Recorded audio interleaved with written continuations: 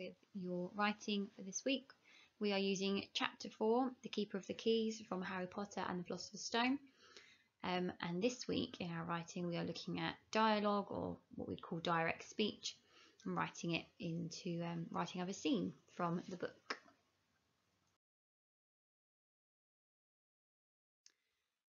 Okay, so make sure you have listened to Miss Williams reading chapter 4 of our Harry Potter book.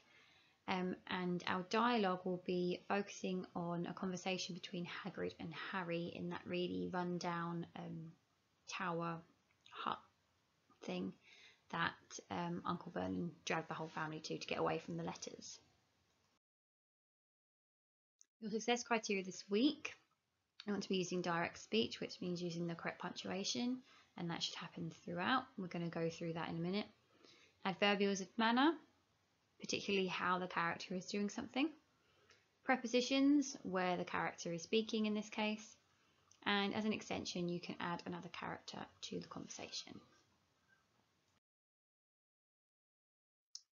Okay, like I said, uh, direct speech using punctuation, um, inverted commas, capital letters after the, after you open your speech, punctuation before you close the speech, finishing with a full stop at the end of the entire sentence, and even trying using interesting words for said. Um, we have done a lot of this over the course of year three. Um, should you want a quick reminder, you can go on to BBC Bitesize. Um, I'll put that link in the description at the bottom of this video. Um, but I think we almost uh, we almost got it correct as we were at school, so I think we'll be okay. Um, I've used speech here as well in my adverbials of manner slide, just I can go over the punctuation with you in here too. So our first sentence is, oh my goodness, she gasped as she slapped her hands to her cheeks. Um, so here you can see the speech has the speech marks around it. There's a capital letter after the opening of speech there is an exclamation mark or a piece of punctuation before closing the speech. Um, and then instead of using the word said, we've used the word, used the word gasped. So in red there, you can see our adverbials of manner.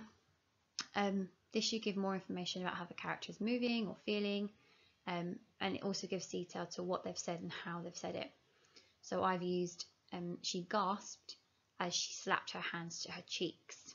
So she's probably seen something that's surprised her, but we haven't said that she's gasped in surprise. We've given more detail of what she's doing to show how she's feeling. That's the manner in which she's um, reacting. What do you think you're doing? said the teacher angrily, her eyebrows shrinking towards her nose. So it doesn't actually, here I've added in an adverb angrily, so it does tell you how she's saying it.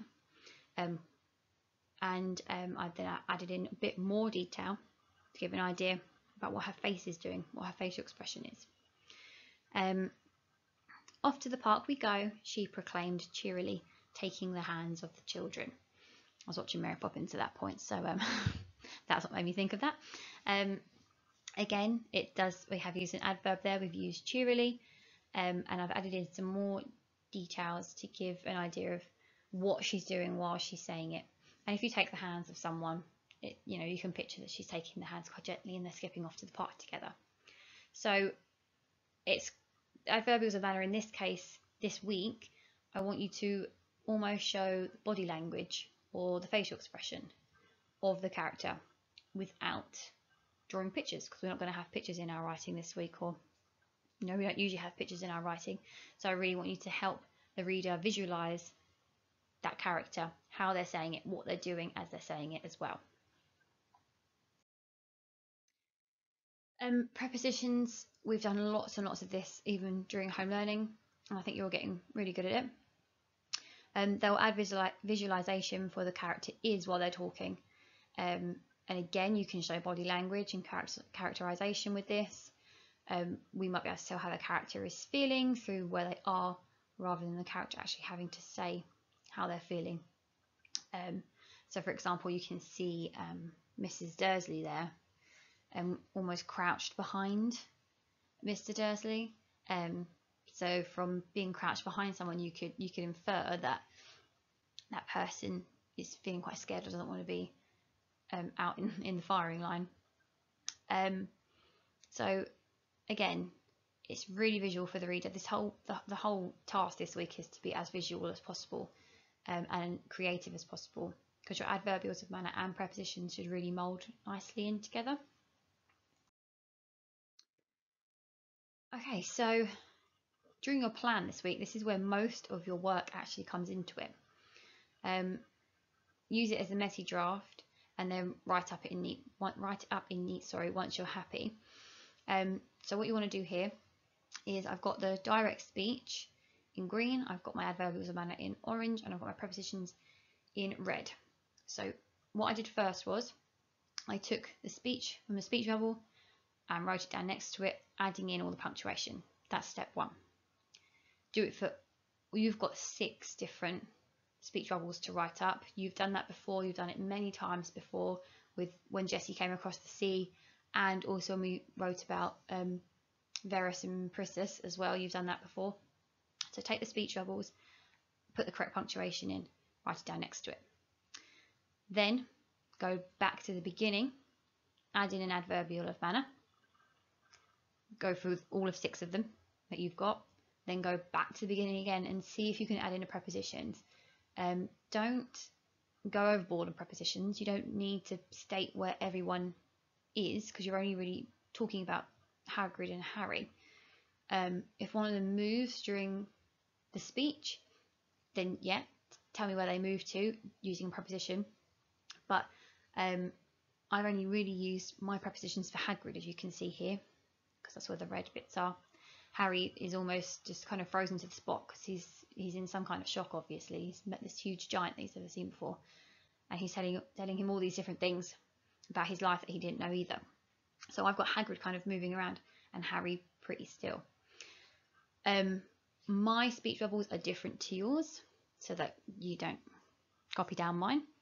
Um, just keep that in mind as well. Um, I decided to put the extension of your writing after the plan because this is what I did. I did my plan first and using the success criteria because there's a lot to focus on with the success criteria this week. So I wanted to just really, really focus on what I was doing there, get my plan written, and then I had a look at the extension and thought, oh, what could Uncle Vernon say or someone who else was in the room? Um, so I created a little speech bubble for him, and then if I feel like I can put it into my writing, then I will using the correct punctuation. Okay, so this is my model write. Um, I've added in an introduction here, which we have done before at school when we've been doing dialogue. Because you've already been given the dialogue to write, you don't have to think about that. You just have to think about the punctuation, where that goes, and obviously adding your adverbials of manner and your prepositions. But it would be really nice, um, especially if we want you to do a good side of A4 um, piece of writing, that you add in an introduction. It gives the reader some more context. It gives them an idea of where the conversation's taking place.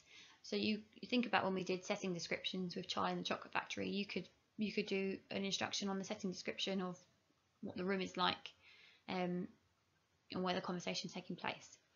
Um, and all I had to do really was think of the introduction by myself and then I used my plan for the bottom half where my dialogue starts um, and just copied it in, in neat. So that's why your plan is really important this week, um, to make sure you fill that in. Okay, so here we go.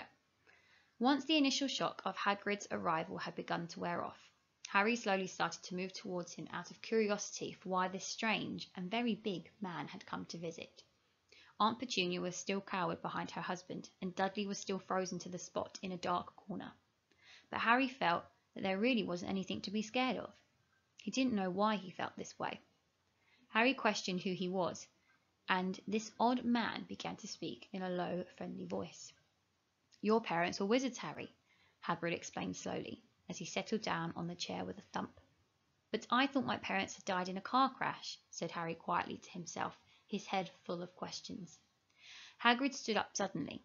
Car crash, he shouted loudly. How do you think you got that scar on your forehead? he said as he towered above Harry and looked intently into his eyes. They had it coming to them, always trouble with the Potters, said Uncle Vernon as he rudely interrupted this moment of realization for Harry. Okay, so once I finished my writing, I went back and assessed myself. Um, I added in the examples of where I had used the success criteria. So the direct speech I did use throughout, um, and I, I checked checked that by just putting a couple of examples there. My adverbials of manner, Hagrid explained slowly. He looked intently into his eyes, um, said Harry quietly to himself. Uh, prepositions, as he settled down on the chair with a thump, just him sitting down is actually the preposition there. Um, as he towered above Harry, that's another preposition there. And I did add in my um, speech that um, Uncle Vernon said. Um, so, yeah.